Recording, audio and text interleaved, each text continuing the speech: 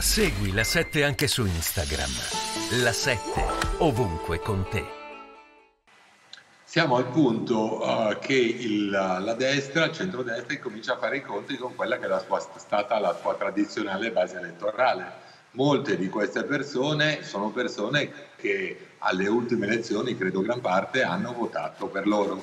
Nel momento in cui si trovano a togliere quell'esenzione IRPEF, la prendono piuttosto male poi sì. si, si, aggiunge, qua, se si aggiunge a tutto questo, è vero che il nostro governo si è candidato contro, diciamo, molti dei partiti si sono candidati contro l'Europa, non tutti, perché Fratelli d'Italia, Forza Italia effettivamente no, e poi i trattori considerano e scoprono l'Europa come Europa matrigna quando vedono che il governo in fondo con l'Europa ci va d'accordo, incominciano a nascere altri problemi ma la verità, sai, è un'altra, al di là dell'IRPEF, al di là dei pesticidi, al di là di tutto quello che diciamo in Europa. Il punto è semplice non riguarda nemmeno questo governo.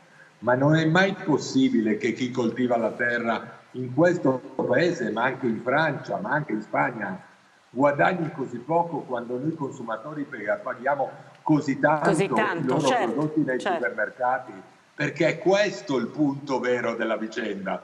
Non ci sarebbe bisogno di esenzioni IRPEF, vantaggi, eccetera, se tutte queste persone guadagnassero il giusto. Io mi chiedo, la grande distribuzione fa i giusti profitti?